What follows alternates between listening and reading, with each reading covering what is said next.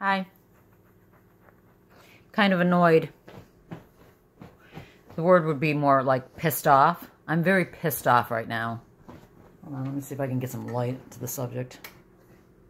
Oh, that didn't really help. But anyways, um, I tried to meld several different...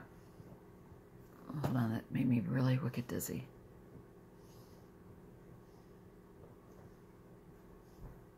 Wow. Holy cow. whole room is doing this now. Just for me. Reaching over and turning on the light. Oh my God, that's not right. Anyway, um, I tried to make a couple little videos throughout the day and tried to meld them. I can't figure it out. I'm too stupid. Um, I can't get them to come up on YouTube. So I'm going to start afresh. Um, this morning I said that I had spoke to my doctor last night and he told me to stop all antibiotics for at least a week and then reintroduce them slowly one at a time and um, just a little bit at a time and to take all of them with food and not to take them without food. So um, my stomach's been okay today. I haven't taken anything other than vitamin C and vitamin D. Took my 0.25 of Klonopin at 1.30 in the morning. Haven't taken anything since, and my anxiety has not been good today. I'm kind of rageful right now because I'm just getting sick to death of having no life and living every single second fighting to sit straight up, walk, do the simplest things. Anyway, I'm going to rant and rave again today because I'm rageful. I'm having a little Bartonella rage, apparently. I had to go out last night to bring some things to my mother, and then I had to stop at a store to buy Zantac because my stomach was in such distress last night, and the Zantac did absolutely nothing. Um, but it was before I talked to the doctor. Anyways, so I went on the treadmill today, holding on for dear life. It wasn't so bad dizziness and off balance hasn't been horrendous. It's been more um, anxious and hyper and depressed and angry. That's how it's been today. I slept like I always do, waking every couple hours. So my stomach is better today. I talked on the phone a couple times. I sat down and did a art project. I like to do my, you know, do a project before I want to try to do it with the kids. And I would do a screenshot of the picture that I did, but don't know how to insert that in here. So can't even show you that. And I'm not going to walk all the way downstairs and video it. Because I'm back upstairs now in my bed. Because don't you know, it's it's 2.30 in the afternoon and it's time to go back to my bed. I stay out of my bed till at least 2. I refuse to stay in my bed from 7 until 2. After 2, I'll come back up here and sit, or I don't lay down, I sit, or I lean back, but it's my crazy thinking. It just annoys me that I can't figure out simple things like how to do this YouTube. It annoys me that the slightest movements make me so dizzy in my head that I feel like I'm going to tip over or pass out. It it's it's so annoying and it's frustrating, and um, quite frankly, I'm getting really sick of it. I've been sick of it for a long time, but today I'm really sick of it again.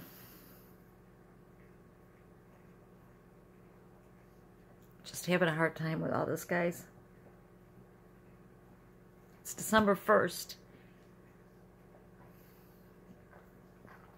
Sorry. And I just, I don't see an end to this.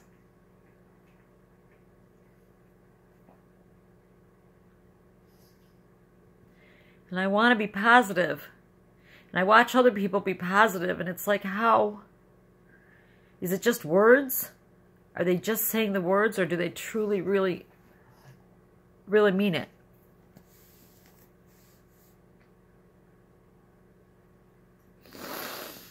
I don't want to be a disappointment to God. I I don't want to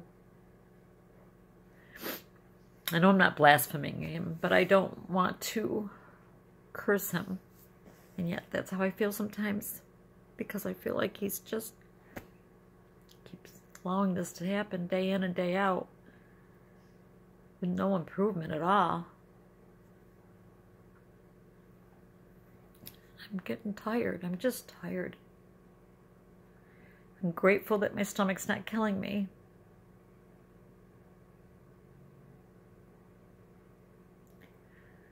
But I look at my day and it's like, what am I supposed to do with myself all day long? What am I supposed to do? I'm so scared and lonely. And I'm being very out there right now because a friend said, go ahead and be transparent. So I'm being transparent again. I'm sorry.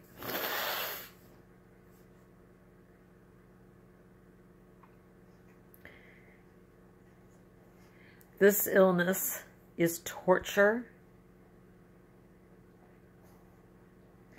And it's evil. And it's cruel.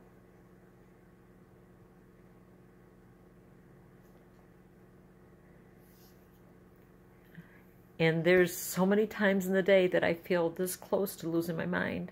Honest to God.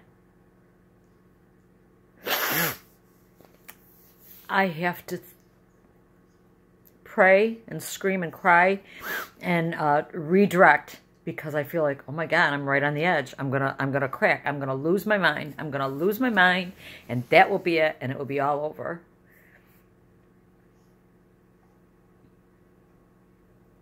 My feet are so tingly the last couple days. They've gotten really bad again. Real tingly, prickly, numb feeling. I don't know if I mentioned this before. I don't think I have. But I have to wear socks 24-7 because it kind of uh, dulls the sensation in my feet. Um, when I don't have anything on my feet. All through the summer, 90 degrees, I'm walking around with socks on because it was it was so annoying and so disturbing having your feet feel like this. Joints of my hand um, feel tight, and I and I feel like I have to. Um, oops, sorry. Oh, I'm sure that made you. I, I feel like I have to open and shut them and and twist and my neck and just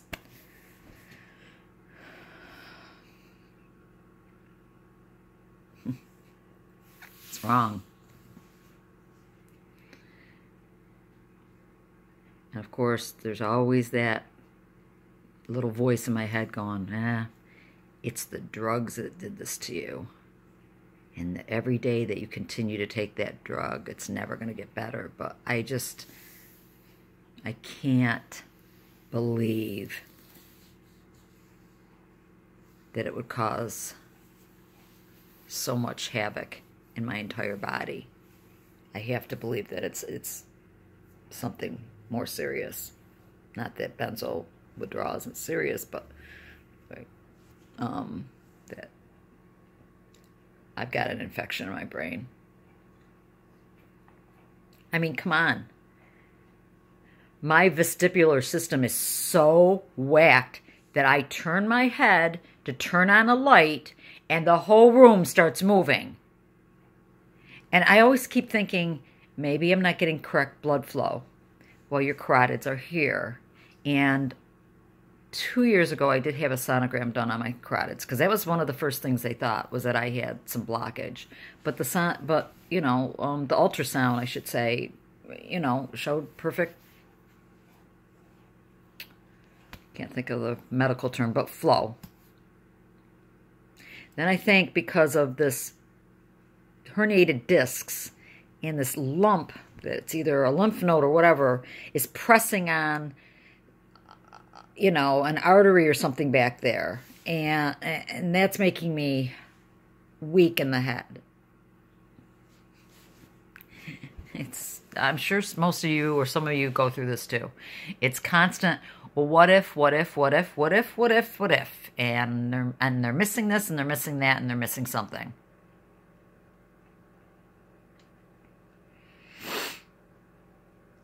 So, um, that's my video for today. I had little clips of me on the treadmill. I had clips of me doing the art project. I had clips of me talking throughout the day, and it's gone. Don't know how to do it. And like I said, it just, I go from crying to angry to want to punch something. I want to put my fist right through a wall. I guess that's rage. I, I read and heard that you can get Bartonella rage. I didn't know that's what it was because, you know what? Two years ago, I broke my hand. I've never broken a bone in my life. I broke my hand punching the floor because I was so rageful. Never have been one of those people who throw things or punch things or never did that before. It was so out of character for me. But I lost my temper and instead of punching somebody or something else, I was sitting on the floor and I went and it was called um, a boxer's fracture fractured my hand. Last year, this last um, October, so a year in October, I broke my thumb. Falling. Not out of rage, but falling. Because I can't walk. Tripped over my own foot and bashed. And so when I went back to the orthopedist, he said, You were here just a year ago he goes, Are you going to make this a yearly thing? And I said, I pray not. Well, I've made it a year and I haven't broken anything else. But today, I could break something if I was let loose because I'm just so annoyed. And I don't want to start screaming at God because that's the next thing. I start screaming at God because I don't understand. It's like, why? Take me home, kill me, let me get done with this. Why leave me in this state? Why? What is the point? I'm not sharing with people. I'm not helping. I'm not being a good wife. I'm not going to be a good mother. I'm not being a good sister, uh, daughter. I'm not, I'm just literally a shell sitting on my bed, crying, whining, and pissing and moaning. But God's got a purpose, and I've got to just, then I have to pull it back in and go, you know what? God is good all the time. Do I believe that, Elaine? Lainey, do you believe that? Because if you believe that, you got to shut your mouth.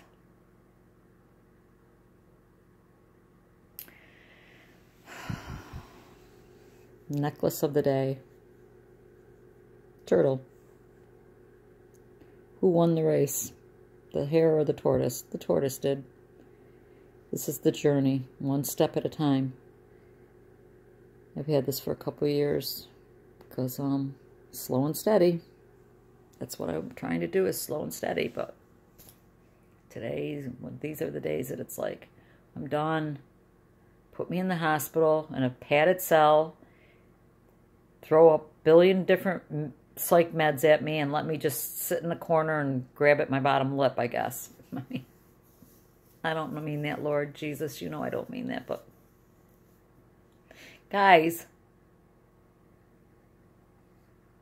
I want to live.